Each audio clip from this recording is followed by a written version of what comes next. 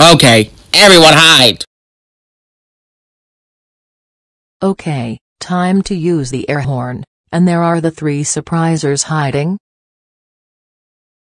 Here we go. Surprise! Oh my god, Stephanie Fox! Why did you use the air horn? Was it interrupted of the surprise? That's because you just prank ya. Get out, and go back to sleep.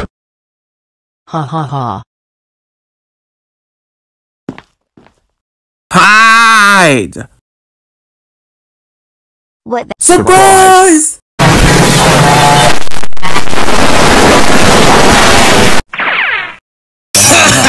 Prank ya!